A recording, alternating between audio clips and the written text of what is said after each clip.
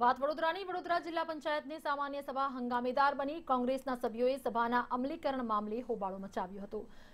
પ્રોસિડિંગની કાર્યવાહીમાં ખટરાગ સર્જાતા સતત ચોથી સભામાં વિકાસના કાર્યો અટવાઈ પડ્યા. તો આંતરિક રાજકારણના કારણે પ્રજાલક્ષી કાર્યો અટવાયા.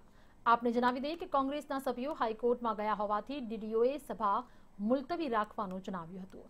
જો કે ભાજપના સભ્યોએ સભા ચાલુ રાખવા માંગ કરી હતી.